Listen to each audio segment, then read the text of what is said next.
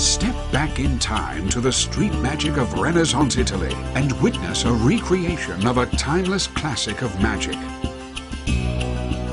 Learn the history of this classic effect and how it can be updated for modern audiences.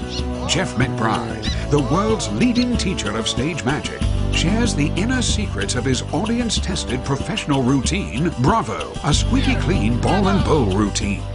Plus, make your sleight of hand more fun, surprising, and effective by adding a McSqueaker. Jeff teaches you how to use this great gimmick to add laughs to your show.